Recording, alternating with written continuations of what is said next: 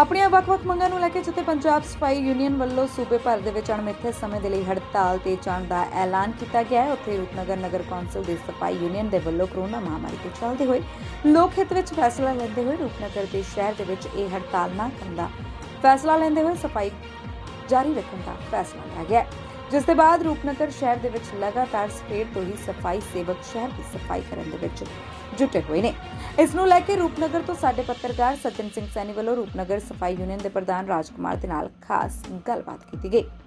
ਜ਼ਿਕਰ ਖਾਸ ਹੈ ਕਿ ਜਦੋਂ ਸਾਰੀ ਦੁਨੀਆ ਆਪਣੇ ਘਰਾਂ ਦੇ ਵਿੱਚ ਸਵੇਰੇ ਸਵੇਰੇ ਸੁੱਤੀ ਪਈ ਹੁੰਦੀ ਹੈ, ਤਾਂ ਇਹ ਸਫ਼ਾਈ ਸੇਵਕ ਲੋਕਾਂ ਦੇ ਘਰਾਂ ਦੀ ਗੰਦਗੀ ਆਪਣੇ ਸਿਰਾਂ ਤੇ ਧੋ ਰਹੇ ਹੁੰਦੇ ਨੇ। ਗਰਮੀ ਹੋਵੇ ਜਾਂ ਸਰਦੀ, ਬਰਸਾਤ ਹੋਵੇ ਜਾਂ ਸੋਕਾ, ਇਹ ਸਫ਼ਾਈ ਸੇਵਕ ਹਮੇਸ਼ਾ ਆਪਣੀ ਡਿਊਟੀ ਤੇ ਨਦੇਹੀ ਨਾਲ ਨਿਭਾਉਂਦੇ ਹੋਏ ਸਮਾਜ ਨੂੰ ਸਾਫ਼ ਸੁਥਰਾ ਰੱਖਦੇ ਨੇ। ਪਰੰਤੂ ਇਸ ਦੇ ਚੱਲਦੇ ਇਹਨਾਂ ਨੂੰ ਬਣਦੇ ਹੱਕ ਨਹੀਂ ਮਿਲ ਰਹੇ, ਜਿਸ ਦੇ ਚੱਲਦੇ ਇਹਨਾਂ ਸਫ਼ਾਈ ਸੇਵਕਾਂ ਦੇ ਵੱਲੋਂ ਕਈ ਸਾਲਾਂ ਤੋਂ ਮੰਗਾਂ ਨੂੰ ਲੈ ਕੇ ਸਰਕਾਰ ਦੇ ਖਿਲਾਫ ਰੋਸ ਜ਼ਾਹਰ ਕੀਤਾ ਜਾ ਰਿਹਾ ਹੈ। ਜਿਸ ਤਰ੍ਹਾਂ ਰੂਪਨਗਰ ਦੇ ਸਫ਼ਾਈ ਸੇਵਕਾਂ ਵੱਲੋਂ ਆਪਣੀ ਨੈਤਿਕ ਜ਼ਿੰਮੇਵਾਰੀ ਸਮਝਦੇ ਹੋਏ ਹੜਤਾਲ ਨਾ ਕਰਕੇ ਆਪਣੀਆਂ ਸੇਵਾਵਾਂ ਦੇਣ ਦਾ ਫੈਸਲਾ ਕੀਤਾ ਗਿਆ।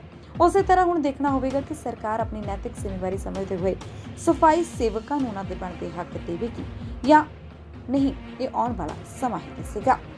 ਰੂਪਨਗਰ ਤੋਂ ਸੱਜਣ ਸਿੰਘ ਸੈਣੀ ਦੀ ਜ਼ੀਰੋ ਲਾਈਨ ਟੀਵੀ ਦੇ ਲਈ ਰਿਪੋਰਟ। ਹਾਂਜੀ ਸਰ ਕੀ ਨਾਮ ਆ? ਕਿਹੜੀ ਯੂਨੀਅਨ ਤੋਂ ਜੀ? ਮੇਰਾ ਸਰ ਨਾਮ ਰਾਜਕੁਮਾਰ ਹੈ ਜੀ। ਅਮ ਤੇ ਮੈਂ ਸਫ਼ਾਈ ਮਜ਼ਦੂਰ ਸੰਘ ਯੂਨੀਅਨ ਦਾ ਜਨਰਲ ਸਕੱਤਰ ਹਾਂ ਜੀ। ਤੇ ਸਰ ਅੱਜ ਪੰਜਾਬ ਭਰ ਦੇ ਜਿਹੜੇ ਕੀ ਹੈ ਪੰਜਾਬ ਬਾਡੀ ਦੇ ਵੱਲੋਂ ਸਾਡੀ ਸਫ਼ਾਈ ਯੂਨੀਅਨ ਦੇ ਵੱਲੋਂ ਸੱਦਾ ਦਿੱਤਾ ਗਿਆ ਸੂਬੇ ਭਰ ਚ ਹੜਤਾਲ ਦਾ ਤੇ ਰੋਪੜ ਦੇ ਵਿੱਚ ਇਸ ਤਰ੍ਹਾਂ ਨੂੰ ਲੈ ਕੇ ਜਿਹੜਾ ਹੈਗਾ ਕੀ ਕੁਝ ਅ, ਕਰਨ ਜਾ ਰਹੇ ਆ ਰੋਪੜ ਦੇ ਸਫ਼ਾਈ ਯੂਨੀਅਨ ਦੇਖੋ ਸਰ ਸਾਡਾ ਜਿਹੜਾ ਫੈਸਲਾ ਸੀ ਲੋਕ ਹਿੱਤ ਦੇ ਵਿੱਚ ਨਾਲ ਰਹਿ ਕੇ ਹੀ ਸਾਡਾ ਸਾਰਾ ਮਸਲਿਆਂ ਦਾ ਹੱਲ ਹੋਣਾ ਹੈ। ਨਾ ਕਿ ਅਸੀਂ ਕੋਈ ਆਪਣੀ ਹੜਤਾਲ ਨਾਲ ਅਸੀਂ ਸਰਕਾਰ ਨੂੰ ਦੱਸਣਾ ਚਾਹੁੰਦੇ ਵੀ ਕੋਈ ਸਾਡੀ ਕੋਈ ਨਿੱਜੀ ਉਹ ਆ।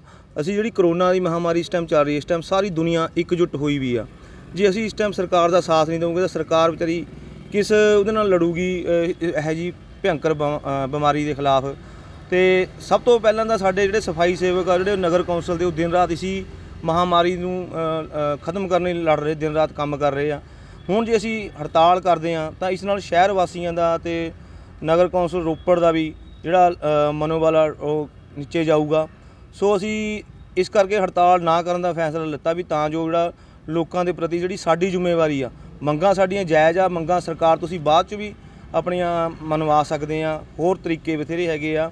ਪਰ ਇਸ ਟਾਈਮ ਜਿਹੜਾ ਸਾਡਾ ਮੇਨ ਮੋਟਿਵ ਇਹ ਹੈਗਾ ਵੀ ਅਸੀਂ ਨਗਰ ਕੌਂਸਲ ਦੀ ਹਿੱਤਾਂ ਦਾ ਧਿਆਨ ਰੱਖਦੇ ਹੋਏ ਵੀ ਅਸੀਂ ਹੜਤਾਲ ਨਾ ਕਰਨ ਦਾ ਫੈਸਲਾ ਲਿੱਤਾ ਜੀ। ਤੇ ਮੰਗਾਂ ਕਿਹੜੀਆਂ ਕਿਹੜੀਆਂ ਤੁਹਾਡੀਆਂ ਕੀ ਕੀ ਮੰਗਾਂ ਮੁੱਖ ਮੰਗਾਂ ਜੀ? ਮੰਗਾਂ ਭਾਜੀ ਸਾਡੀਆਂ ਬਹੁਤ ਮੰਗਾਂ ਜੀ ਮੰਗਾਂ ਤਾਂ ਕਾਫੀ ਆ ਪਰ ਜਿਹ ਚ ਮੇਨ ਜ਼ਿਆਦਾ ਇਹ ਹੈ ਵੀ ਇੱਕ ਤਾਂ ਜਿਹੜੇ ਸਾਡੇ ਮੁਲਾਜ਼ਮ ਕੱਚੇ ਸੀਵਰਮੈਨ ਆ ਸਫ਼ਾਈ ਸੇਵਕ ਆ ਬਹੁਤ ਦੇਰਾਂ ਤੋਂ 15 15 20 20 ਸਾਲ ਹੋ ਗਏ ਜਿਨ੍ਹਾਂ ਨੂੰ ਕੰਮ ਕਰਦੇ ਉਹ ਪੱਕੇ ਨਹੀਂ ਕੀਤੇ ਇਹਨਾਂ ਨੇ ਸਰਕਾਰ ਨੇ।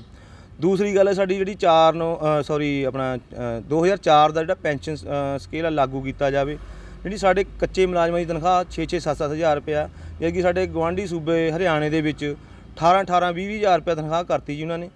ਅਸੀਂ ਵੀ ਸਰਕਾਰ ਹੋਰ ਵੀ ਕਈ ਮੰਗਾਂ ਜੀ ਤੇ ਅਸੀਂ ਵੀ ਸਰਕਾਰ ਤੋਂ ਇਹੀ ਮੰਗ ਕਰਦੇ ਵੀ ਜੇ ਕਮ ਸੇ ਕਮ ਇਹਨਾਂ ਦੀ ਤਨਖਾਹ ਤਾਂ ਇੰਨੀ ਕੁ ਹੋ ਜਾਵੇ ਜਿਹਦੇ ਨਾਲ ਗੁਜ਼ਾਰਾ ਇਹਨਾਂ ਦਾ ਪਰਿਵਾਰ ਸਹੀ ਤਰੀਕੇ ਨਾਲ ਪਲ ਸਕੇ ਜੀ।